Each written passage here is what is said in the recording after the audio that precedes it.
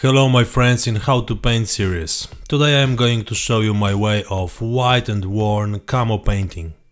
But before we start as a reminder of what we left off in the previous episode. By the way, if you are new, check the previous videos from working on King Tiger and other projects that I published on this channel. Of course it will be helpful to subscribe to the channel to have reminders of new movies. Okay, as I mentioned before I'm using my 2016 model as a painting template. Apart from that I draw conclusions from other models that I have made in winter painting. Some have more and other less damaged paint coating, but I always try to find some inspiration by looking at the model. Here is a short overview of my work in recent years.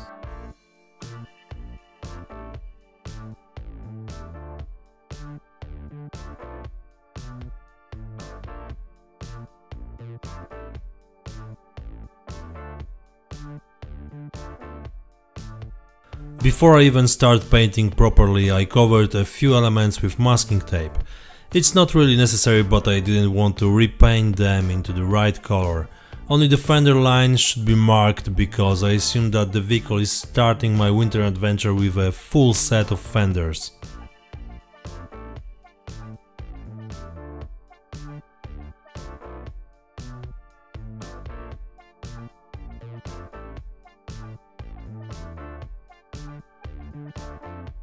The first thing you need to do is cover the model with easy chipping medium which has no intense perfumed smell. The bottle is fitted with an atomizer so you can use the product straight from the bottle if you don't want to get your airbrush dirty. Remember that the product is not suitable for brush painters because you will activate it simultaneously with brush strokes.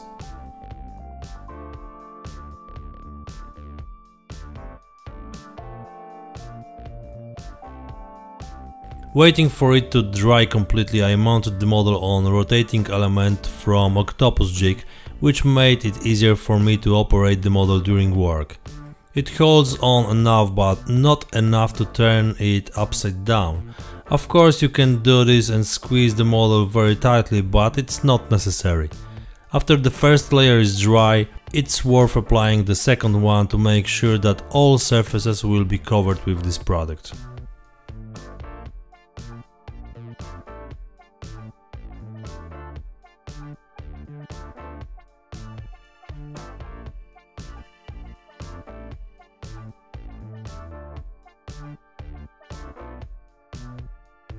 The main color will be flat white mixed with buff.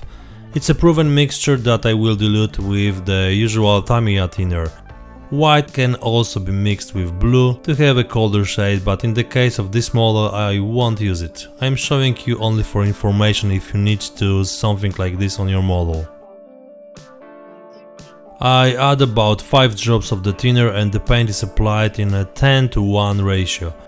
I used to use water because I heard somewhere that thanks to it the paint is weaker in adherence to the surface, but I didn't notice that this was actually happening. So don't believe everything you hear on the internet.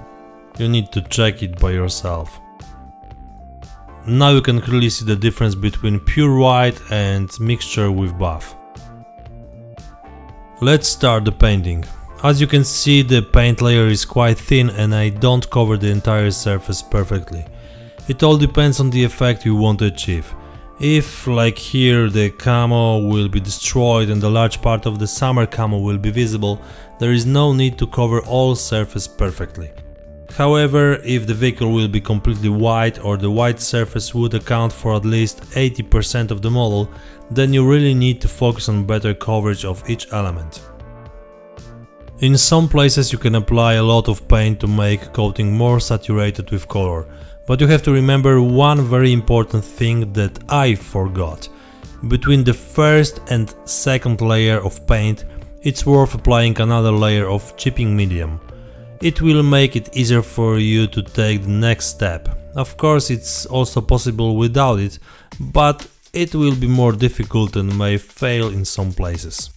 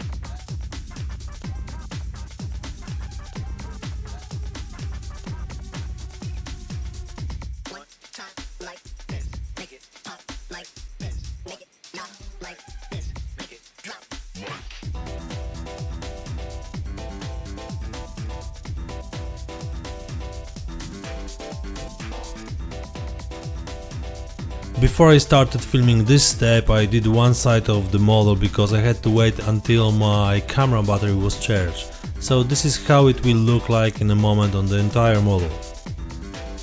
This step is the most important part of the entire winter camo painting in the version you see here. For this we need water, an old brush, a toothpick or some other sharp tool and a paper towel.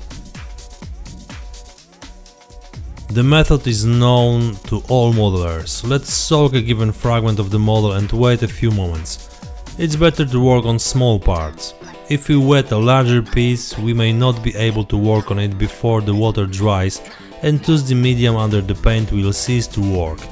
The most important thing is diversity, which is not difficult to find.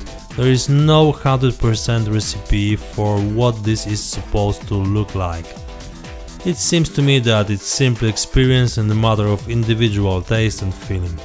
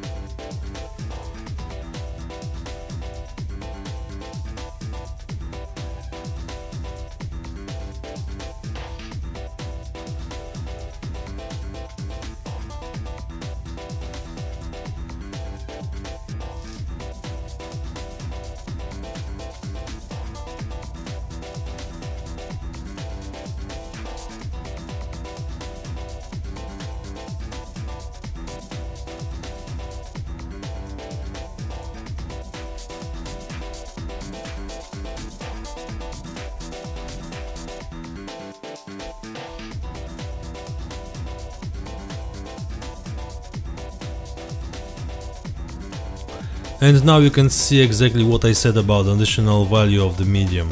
In some places it took me a while to decay, the paint softened and allowed some scratches.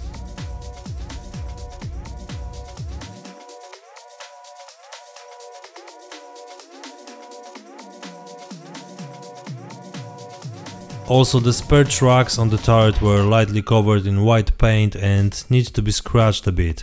The effect is great and will be much better after the weathering.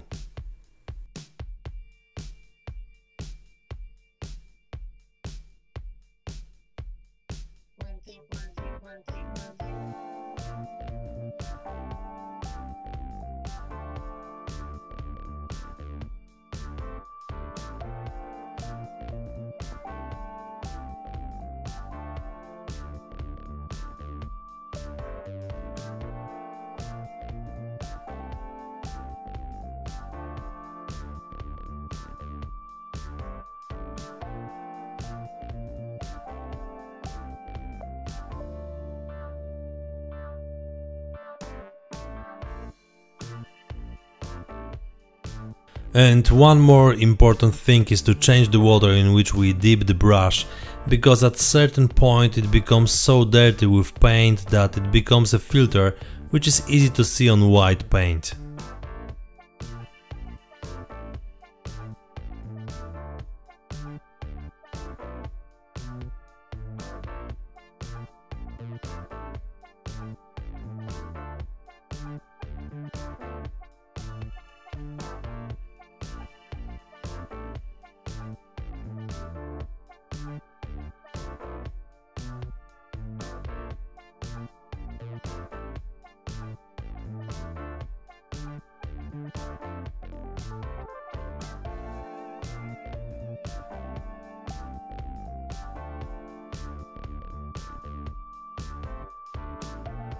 You can, but you don't have to.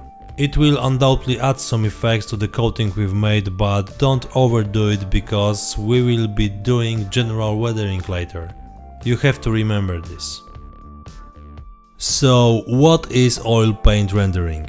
I think that I will use the explanation that Michael Rinaldi showed in his book Tank Art Part 1. So he wrote that rendering is defined for illustration as maximizing a drawing's level of information for the viewer, which is often used to visualize a product's physical elements. In short, we can make sure that the surface of the model is not uniform, boring or expressionless. Thanks to additional painting effects we can even tell the story of the vehicle we are building. That's how I feel it. On my King Tiger I added some color to the spare tracks but also to the armor surfaces. Maybe it's not very visible and it's possible that it's my mistake because I used too light base paint, but looking at the model I can see the difference. In a moment I will do some fun with acrylic paints, then the level of detailing of the paint coating will increase even more.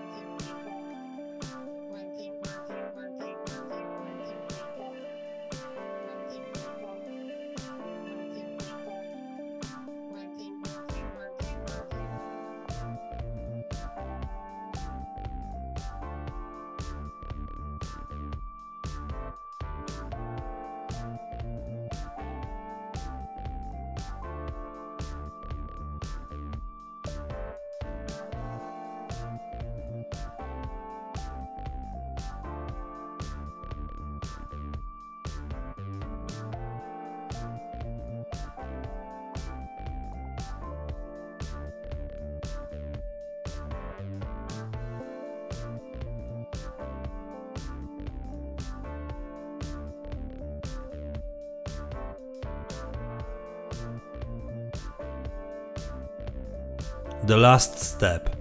We do some chipping and mapping with acrylic paints. As for me, both of these terms are very close to each other when it comes to finishing winter camo, so you will see for a moment how easy it's to go from one to the other. And you will immediately see how cool the plain white paint does the job on the damaged paintwork. Chipping as chipping, small irregular color points, Mapping is already larger surfaces with irregular shapes such as a geographic map with the edges of different areas and here you can do it several times by applying differently diluted paints, layer on layer. Even if it doesn't look good at first glance, later with weathering everything will align and it will be an interesting effect on the model.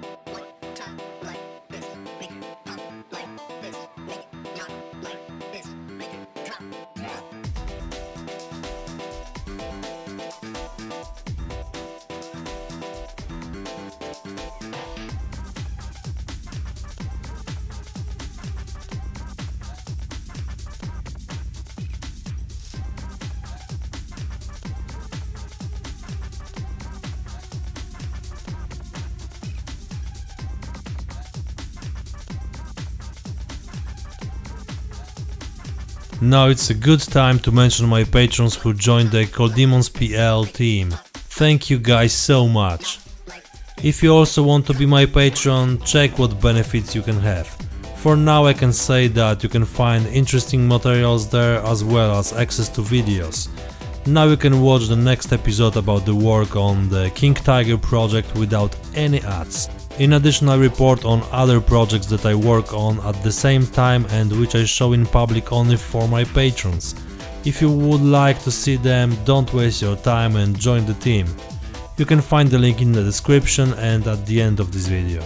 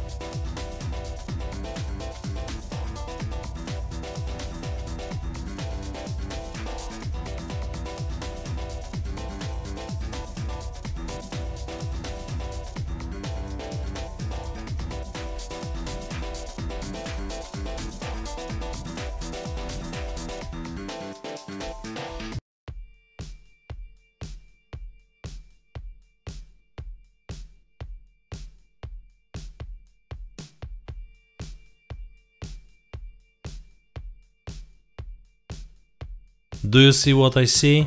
The model gets more and more refined with each episode, doesn't it? After today's work you can see how much there will be to watch on it. I'm sure it will be awesome. That's all I wanted to show you today. Hope you find it useful for painting the models and you had a good time watching. If so, don't forget to like and subscribe. Please share it with your friends and make sure that they like and subscribe and let them know that I'm waiting on my Patreon site. You can increase the prosperity of this channel and make me feel better. Thank you very much and see you next time. Cheers!